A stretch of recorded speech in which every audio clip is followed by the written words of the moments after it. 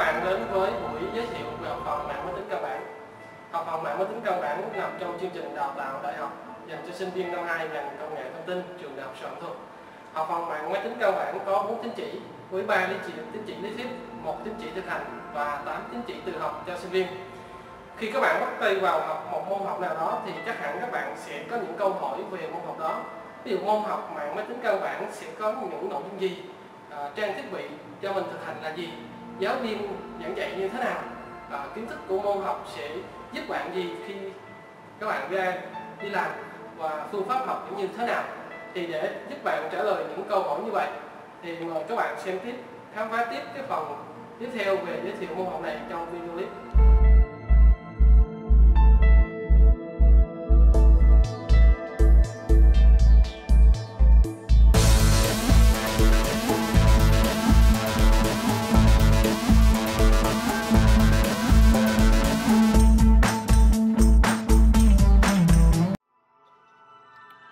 Giảng viên.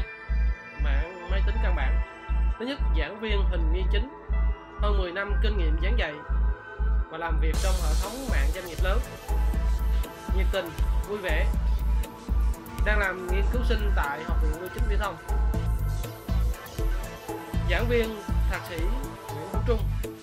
Hơn 13 13 năm kinh nghiệm giảng dạy và làm việc về quản trị hệ thống mạng cho tình vui vẻ và hợp đồng với sinh viên giảng viên, thạc sĩ Nguyễn Thị Thanh Vân gần 8 năm kinh nghiệm giảng dạy, nhiệt tình, vui vẻ, đang làm nghiên cứu sinh tại đại học Bách khoa. Với đội ngũ giảng viên trẻ nhiệt huyết, tận tình để đồng hành cùng các bạn.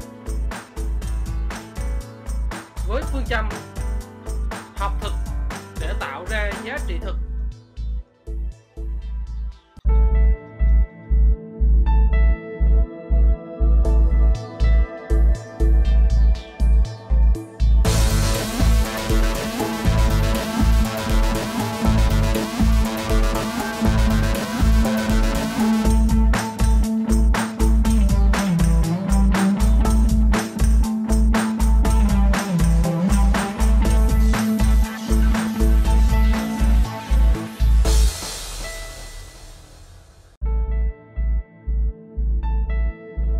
Giờ tôi sẽ giới thiệu bạn về các cái thiết bị cần học trong môn học này. Đầu tiên các bạn phải có một chiếc máy tính à, đúng mạnh à, để chúng ta có thể cài đặt các môn học, các hệ điều hành à, của Windows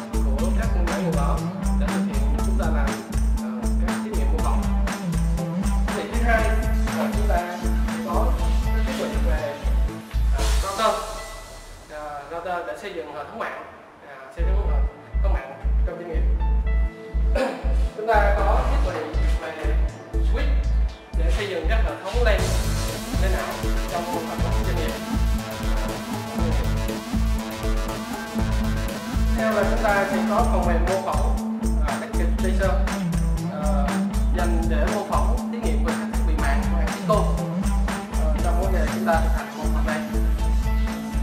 Rồi khi chúng ta học môn học này chúng ta sẽ có một hệ thống à, online à, online training à, giúp chúng ta à, vừa học và tự học trang bị cho tự học cho quá trình học môn học này.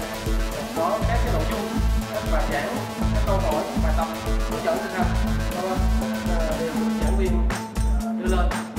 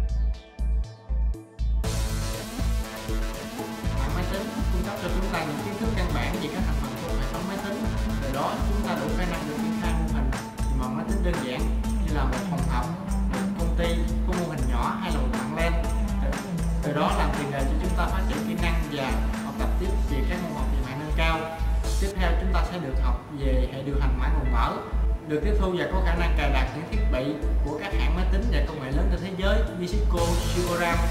Hệ thống phòng lab có đầy đủ các thiết bị chuyên dụng và server giống như một mô hình doanh nghiệp cụ thể. Đó chúng ta có thể thỏa sức học tập và nghiên cứu. Bên cạnh đó, giảng viên giảng dạy nhiệt tình, vui vẻ, trình độ chuyên môn vững vàng, chuyên nghiệp, luôn hỗ trợ học viên trong tất cả các giờ học. Ngoài ra, nếu học viên có thắc mắc thì có thể đến phòng thí nghiệm để gặp ngay giảng viên để được giải đáp thắc mắc một cách kịp thời và triệt để. Sau khi rời khỏi ghế nhà trường, các bạn có đủ khả năng và tự tin để làm việc trong các công ty và doanh nghiệp lớn như FPT, Viettel, Vinagame.